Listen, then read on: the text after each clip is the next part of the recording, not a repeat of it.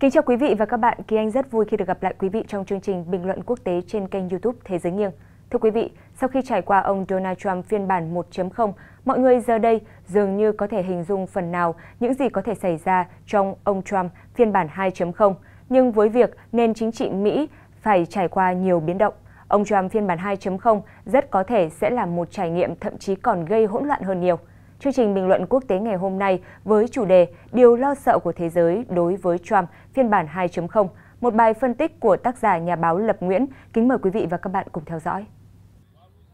Những bình luận của ông Donald Trump về NATO hồi đầu tháng 2 năm 2024 đã nhanh chóng gây ra làn sóng chỉ trích bất thường từ nhiều nhà lãnh đạo trên thế giới. Phát biểu tại cuộc vận động tranh cử ở bang Nam Carolina, ông Trump nói rằng nếu trở thành tổng thống, ông sẽ khuyến khích Nga làm bất cứ điều gì họ muốn. Đối với những thành viên của liên minh đã không thực hiện việc dành 2% GDP cho quốc phòng, một mục tiêu đã được tất cả các thành viên NATO nhất trí hồi năm 2014. Jacques Michel, Chủ tịch Hội đồng châu Âu, gọi phát ngôn này là khinh suất. Tổng thư ký NATO Jens Stoltenberg cho rằng điều này làm suy yếu toàn bộ an ninh của phương Tây. Còn Tổng thống Mỹ Joe Biden chỉ đơn thuần nói điều này là phi Mỹ hóa, một tư tưởng hoàn toàn đi ngược lại văn hóa, giá trị, quan điểm và phong cách sống của người Mỹ. Thái độ coi thường NATO của ông Trump ẩn chứa trong đó những điều không làm người ta phải bất ngờ. Cựu Tổng thống Mỹ từ lâu vốn đã thể hiện sự bất mãn của mình đối với các thành viên NATO khác, trong khi ông lại có một mối quan hệ khá thân thiện với các nhà lãnh đạo là đối thủ của NATO. Và có lẽ không ví dụ nào nổi bật hơn là trường hợp của Tổng thống Nga Vladimir Putin.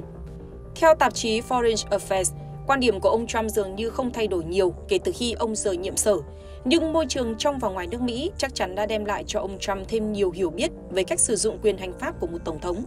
Điều này làm cho bầu không khí chính trị ở Washington sẽ trở nên nguy hiểm hơn đáng kể so với những năm tháng dưới chính quyền của ông. Khi mà giờ đây diễn ra nhiều cuộc chiến tranh hơn, sự cạnh tranh giữa các cường quốc trở nên gay gắt hơn và trật tự thế giới đang bị rung lắc dữ dội hơn bao giờ hết.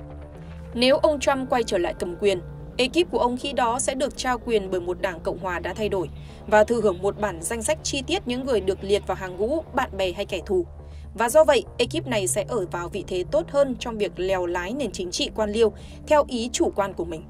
Những quốc gia có khả năng phát triển mạnh mẽ trong nhiệm kỳ 2 của ông Donald Trump sẽ là những đối thủ và kẻ thù của Mỹ như Trung Quốc và Nga có những nước có khả năng bị thiệt hại nhiều nhất sẽ là những nước bạn bè truyền thống của Mỹ như các quốc gia châu Âu, Nhật Bản và các đối tác ở Tây Bán Cầu. Dĩ nhiên vào lúc này người ta không thể dự đoán trước được một cách chính xác những chính sách cụ thể của một chính quyền Trump tương lai – đơn giản là vì chúng sẽ mang đặc điểm của một vị tổng thống hoạt động đầy cảm tính, vô kỷ luật và dễ phân tâm. Nhưng có lý do chính đáng hơn để rút ra một điều rằng ông Trump phiên bản 2.0 sẽ là ông Trump phiên bản 1.0 nhưng cực đoan hơn rất nhiều. Sự trở lại của ông có thể dẫn đến một nước Mỹ theo xu hướng đơn phương hơn, xa cách hơn, thậm chí hung hăng hơn và ít cam kết hơn với việc duy trì một cấu trúc địa chính trị vốn đang chịu ngày càng nhiều áp lực do các chuyên gia an ninh quốc gia là những người có trách nhiệm đánh giá đúng hậu quả của những cú sốc địa chính trị tiềm ẩn. Nên điều quan trọng nhất vào lúc này là họ phải lên kịch bản cho khả năng ông Trump trở lại nắm giữ Nhà Trắng một lần nữa, cũng như hiểu rõ được những thách thức mà một chính quyền như vậy sẽ đặt ra cho các vấn đề quốc tế. Thưa quý vị, cách nhìn nhận thế giới của ông Donald Trump hiện tại dường như không khác mấy so với trong nhiệm kỳ đầu của ông. Nếu có sự thay đổi nào đó trong ông Trump phiên bản 2.0 thì đó có thể sẽ là không còn nữa hy vọng các thành viên trong ekip mới đứng ra kiềm chế những hành động bốc đồng của ông. Nhưng có lẽ lý do lớn nhất khiến cho ông Trump phiên bản 2.0 khác với phiên bản cũ là những thay đổi trong môi trường địa chính trị bên ngoài nước Mỹ. Nếu trở lại phòng bầu dục, ông Trump sẽ phải hành động trong một thế giới giờ đây trở nên hỗn loạn hơn rất nhiều. Cách nhìn nhận thế giới của ông Trump hiện tại dường như không khác mấy so với trong nhiệm kỳ đầu của ông. Tất cả mọi dấu hiệu đều cho thấy ông vẫn tiếp tục tin rằng hệ thống liên minh toàn cầu mà Washington đã dày công gây dựng là một trở ngại chứ không phải là tài sản của nước Mỹ. Rằng việc phá bỏ các cơ chế thương mại toàn cầu là con đường tốt nhất dẫn tới an ninh kinh tế và thịnh vượng của nước Mỹ.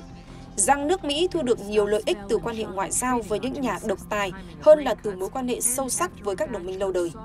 và rằng chính sách đối ngoại đơn phương mang tính theo đuổi lợi ích có đi có lại là cách tốt nhất để đối phó với cả kẻ thù lẫn bạn bè. Ông Donald Trump tiếp tục hợp nhất lợi ích của nước Mỹ với lợi ích của bản thân ông, cho dù là về chính trị hay kinh tế. Nếu có sự thay đổi nào đó trong ông Trump phiên bản 2.0, thì đó có thể sẽ là không còn nữa hy vọng các thành viên trong ekip mới đứng ra kiềm chế những hành động bốc đồng của ông. Trong nhiệm kỳ đầu của ông Trump, nhiều thành viên quan trọng trong ekip an ninh quốc gia của ông cũng như các đồng minh Cộng hòa trên đồi Capitol đã đi theo một quan điểm Cộng hòa truyền thống hơn.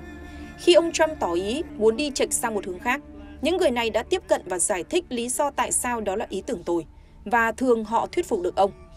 Đây chính là những gì đã diễn ra trong bản đánh giá chiến lược Afghanistan năm 2017. Điều quan trọng không kém là đối với nhiều vấn đề mà ông Trump đơn thuần không trực tiếp tham gia, những người được ông bổ nhiệm vẫn có thể thực thi chính sách một cách bình thường dưới sự giám sát của ông, giống như trong trường hợp chiến lược quốc phòng năm 2018. Cuối cùng, trong một số ít lĩnh vực, những người dưới quyền của ông đã sử dụng những mánh lưới quảng cáo quan liêu thông thường để ngăn cản việc triển khai những chính sách quyết đoán của ông Donald Trump. Chẳng hạn như việc người ta lấy lý do không có nhiều quan chức ở các cấp của bộ máy chính quyền thực sự tin tưởng vào khẩu hiệu làm nước Mỹ vĩ đại trở lại MAGA để ngăn cản ông Trump thực hiện những ý tưởng nảy sinh bất chợt trong đầu của mình. Không rõ liệu lần này những rào cản như vậy có còn nữa hay không. Ông Donald Trump đã lên kế hoạch hăm dọa bộ máy chính quyền tương lai của ông bằng cách phân loại lại toàn bộ quan chức nhằm xóa bỏ các quy định bảo vệ họ, cũng như để có thể dễ dàng sa thải họ hàng loạt nếu cần. Các đồng minh của ông nói về việc ông Trump sẽ sử dụng quyền lực của Tổng thống để loại bỏ tận gốc những thành viên trong quân đội, những người đã không toàn tâm toàn ý với tư tưởng làm nước Mỹ vĩ đại trở lại của ông. Ông Trump chắc chắn sẽ không lặp lại sai lầm trong nhiệm kỳ đầu của mình khi bổ nhiệm những quan chức dân sự và những tướng lĩnh quân đội, như trường hợp các tướng về hưu Jim Mattis và John Kelly, những người đã kiên quyết đặt lòng trung thành với hiến pháp lên trên lòng trung thành với cá nhân ông Trump. Và nhiều người trung thành với hệ tư tưởng làm nước Mỹ vĩ đại trở lại đã từng phục vụ trong nhiệm kỳ đầu của ông, giờ đây hiểu rõ hơn về bộ máy quan chức từng khiến họ thất vọng như thế nào cũng như hiểu rõ họ ở vào một vị thế tốt hơn để thực hiện những thay đổi cơ bản nếu họ giành được quyền lực.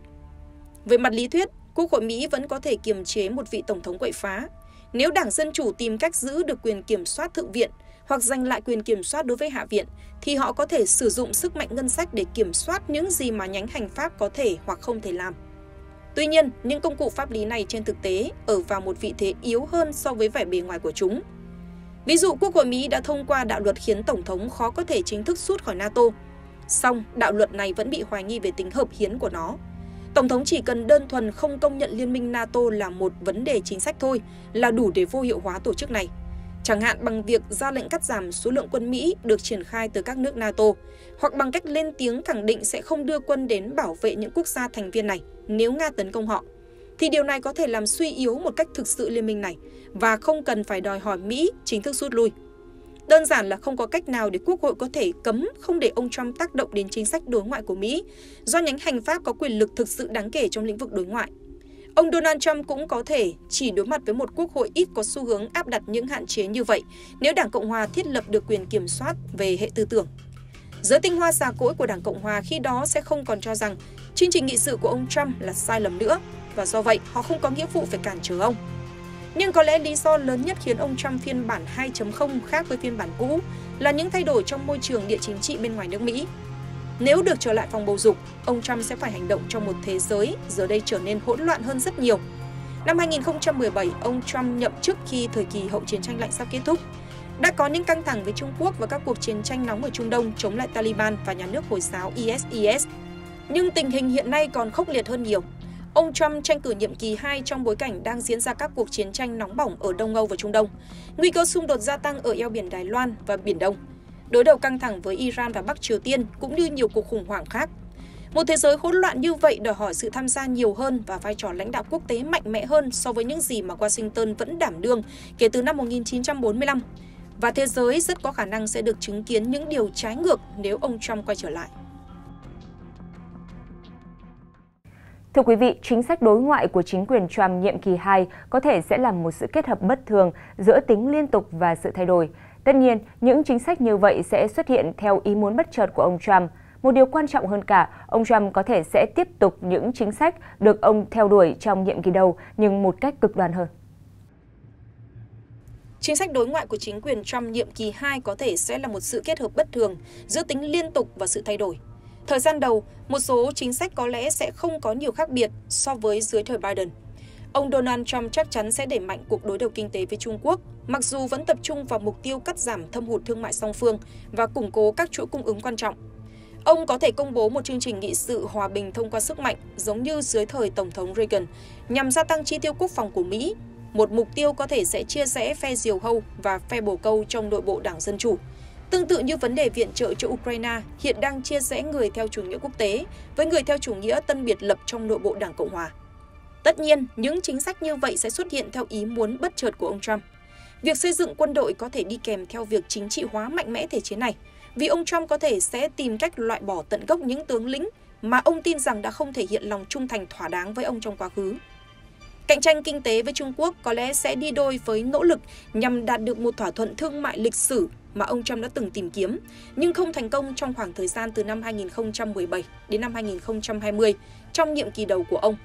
Và để đối phó với nhiều đối thủ cùng một lúc, ông Trump một lần nữa sẽ quay trở lại với chiến lược cạnh tranh giống như màn kịch Kabuki, một loại hình sân khấu kịch truyền thống của Nhật Bản,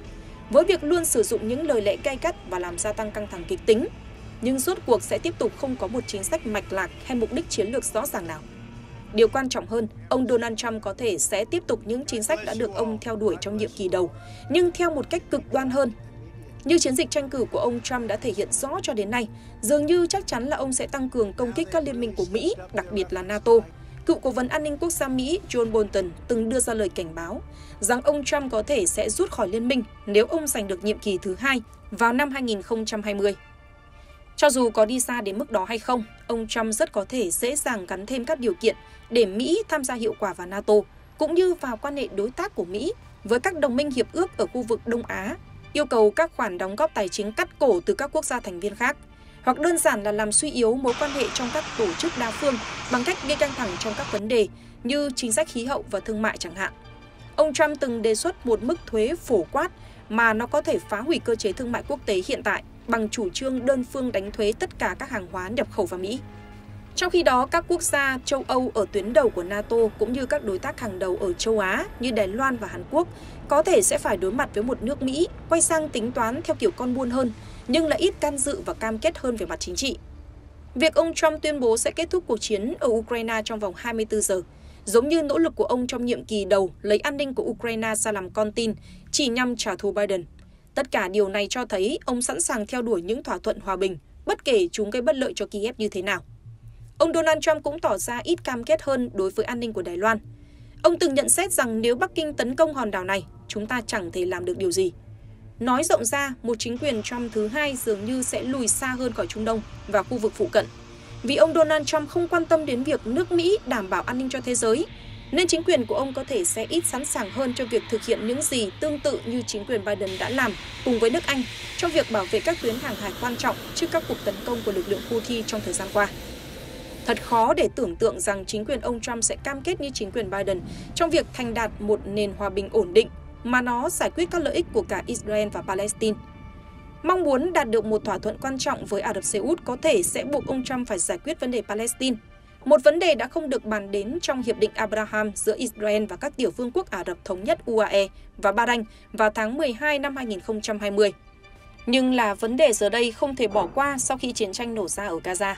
Có rất ít kịch bản hợp lý cho một kết quả thuận lợi ở Trung Đông, và mọi kịch bản đều đòi hỏi phải có sự cam kết đáng kể từ Mỹ. Do vậy, thật khó nhận thấy bằng cách nào mà ông Trump có thể cân bằng sự ủng hộ dành cho Israel với mong muốn từ bỏ các cam kết của Mỹ ở Trung Đông. Nhiệm kỳ 2 của ông Trump cũng có thể còn bao gồm một tình trạng thiếu nhất quán hơn trong chính sách của Mỹ ở Trung Đông, vì ông cũng có thể sẵn sàng kết hợp việc rút quân khỏi khu vực này với một số hành động quân sự bất ngờ trong quá trình rút quân.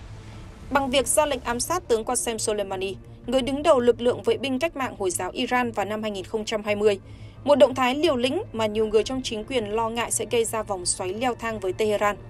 Ông Trump đã cho thấy ông có thể sẵn sàng hơn Biden trong việc thực hiện những hành động tấn công chết người chống lại Iran và lực lượng ủy nhiệm của nhà nước Hồi giáo này như thế nào, hay trong việc quay trở lại cái mà chính quyền ông Trump gọi là chính sách gây áp lực tối đa nhằm đạt được một thỏa thuận hạt nhân tốt hơn thỏa thuận mà ông được thừa hưởng năm 2017. Chính quyền Trump nhiệm kỳ 2 cũng gần như chắc chắn sẽ hạ thấp hơn nữa tiêu chuẩn dân chủ và nhân quyền, không còn coi đó là những mục tiêu chính sách nữa. Và tương tự như việc ông Trump từng không ngừng nói về vấn đề người di cư và việc xây dựng bức tường biên giới với Mexico trong nhiệm kỳ đầu. Ông có thể áp dụng cách tiếp cận cực đoan hơn trong nhiệm kỳ thứ hai, có khả năng là quân sự hóa hơn nữa đối với đường biên giới và thực hiện chính sách hạn chế hơn đối với người tị nạn, kết hợp tăng cường cuộc chiến chống ma túy. Trong nhiệm kỳ đầu của ông Trump, nhiều nhà lãnh đạo nước ngoài đã phát triển cái gọi là bí quyết Trump để đối phó với vị tổng thống bất thường nhất nước Mỹ này. Một số bài học đã được rút ra từ cách tiếp cận như vậy. Ve vãn hay bắt trước có thể dẫn đến một tình trạng khó xử do ông Trump hành xử hết sức thất thường và điều đó đòi hỏi các nước thường xuyên thay đổi theo. Cách tiếp cận đầu tiên là giữ khoảng cách an toàn và phòng ngừa rủi ro, một chiến lược hấp dẫn đối với những nước lớn như Pháp và Đức. Những quốc gia sẽ bị thiệt hại nhiều nhất nếu ông Donald Trump phá bỏ trật tự quốc tế do Mỹ đứng đầu. Tổng thống Pháp Emmanuel Macron và Thủ tướng Đức Angela Merkel đã cố gắng giữ khoảng cách với Washington để giảm thiểu những điểm gây xích mích với ông Trump. Nhưng đồng thời hai nước này cũng cố gắng lấp đầy khoảng trống lãnh đạo trong các thể chế xuyên đại Tây Dương và khẳng định vai trò lớn hơn của các tổ chức như Liên minh châu Âu EU chẳng hạn. Mặc dù đã tránh được một cuộc khủng hoảng toàn diện xuyên Đại Tây Dương, nhưng họ vẫn không thể ngăn được ông Trump đưa ra vô số lời xúc phạm và gây xung đột ngoại giao. Mặc dù điều này đã được giảm nhẹ phần nào nhờ sự chấn an từ những phe nhóm vẫn ủng hộ liên minh trong chính quyền Trump, cũng như từ những thành viên Cộng hòa trong Quốc hội Mỹ. Ngoài ra, đơn giản là do các nước này không có đủ các công cụ về quân sự, chính trị, kinh tế và ngoại giao để bù đắp cho việc ông Trump từ bỏ vai trò lãnh đạo truyền thống của Mỹ. Cách tiếp cận thứ hai để đối phó với ông Trump là quay sang ve vãn, một chiến lược thu hút một số nhà lãnh đạo có tính cách giống với ông Trump. Thủ tướng Anh Boris Johnson luôn đưa ra những quan điểm mang tính nịnh nọt đối với ông Donald Trump, xoa dịu cái tôi của ông để quan hệ hai nước êm xuôi. Tương tự như vậy, cố Thủ tướng Nhật Bản Shinzo Abe cũng nỗ lực hết sức để vay vãn ông Trump. Thậm chí còn tặng ông một cây gậy golf mạ vàng sau khi ông giành chiến thắng trong cuộc bầu cử vào tháng 11 năm 2016. Những điều này quả thực đã mang lại kết quả. Nhật Bản gặp ít rắc rối hơn trong quan hệ với Mỹ so với các đồng minh khác của Mỹ ở châu Á Thái Bình Dương trong suốt nhiệm kỳ tổng thống của ông Donald Trump. Và ông Trump đã không đối xử với Johnson theo kiểu bắt nạt như ông đã dành cho người tiền nhiệm của Johnson. Tuy nhiên, rất ít nhà lãnh đạo nước ngoài có được cả sự trơ chẽn lẫn ủng hộ trong nước để mạo hiểm với cách tiếp cận này. Cách tiếp cận thứ ba liên quan đến việc cố gắng bắt chước những gì ông Trump làm để mong được ông đối xử tốt. Chiến thuật này tỏ ra hấp dẫn đối với các nhà lãnh đạo có chung khuynh hướng độc đoán với ông Trump, cũng như hiểu được tâm lý của ông luôn muốn được nhắc tên thông qua những thành tích ngoạn mục. Đó là Viktor Orbán của Hungary, Recep Tayyip Erdogan của Thổ Nhĩ Kỳ, Mohammed bin Salman của Ả Rập Xê Út và thậm chí cả Benjamin Netanyahu của Israel. Thành tích ngoại giao quan trọng nhất của ông Trump, Hiệp định Abraham, đã cho thấy khả năng và hạn chế của cách tiếp cận này. Netanyahu đã thành công trong việc thuyết phục ông Donald Trump đứng ra làm trung gian cho thỏa thuận bình thường hóa quan hệ giữa Israel và một số quốc gia Ả Rập, vốn từ lâu được coi là một phần quan trọng của giải pháp hòa bình toàn diện cho Trung Đông. Nhưng hiệp định này lại không bao gồm đòi hỏi Israel phải có bất kỳ nhượng bộ hoặc điều kiện cần thiết nào, hay thậm chí phải thừa nhận vấn đề Palestine. Chiến lược này dường như tỏ ra hiệu quả theo suy nghĩ của nhiều người, cho đến khi Hamas phá hỏng toàn bộ mọi chuyện bằng cuộc tấn công khủng bố tàn khốc ngày 7 tháng 10 năm 2023 mới đây nhằm vào Israel. Cách tiếp cận cuối cùng mà một số nhà lãnh đạo nước ngoài áp dụng là duy trì thái độ thù địch với ông Trump và thách thức ông thực hiện những đe dọa của mình. Các quốc gia gây rắc rối lớn nhất cho ông Donald Trump, bao gồm Iran, Bắc Triều Tiên và Venezuela, đều theo đuổi cách tiếp cận này ở một mức độ nào đó. Mặc dù mỗi nước trong số này đều phải đối mặt với một số hình thức ngoại giao mang tính cưỡng ép khốc liệt nhất của ông Trump, trong trường hợp của Iran, đến mức là Mỹ đã đặt mục tiêu ám sát Soleimani vào tháng 1 năm 2020. Nhưng tất cả những quốc gia này vẫn đứng vững qua nhiệm kỳ đầu của ông Trump, trong tư thế thậm chí còn mang tính thách thức hơn, cũng như không có bất kỳ nhượng bộ có ý nghĩa nào đối với các yêu cầu của ông. Có thể nhận xét rằng đây chính là cách tiếp cận mà Trung Quốc đã áp dụng đặc biệt là khi ông Trump đẩy mạnh cuộc chiến thuế quan giữa hai nước. Một số bài học đã được rút ra từ những cách tiếp cận này. Vé ván hay bắt chước có thể dẫn đến một tình trạng khó xử do ông Trump hành xử hết sức thất thường, và điều này đòi hỏi các nước phải thường xuyên thay đổi theo.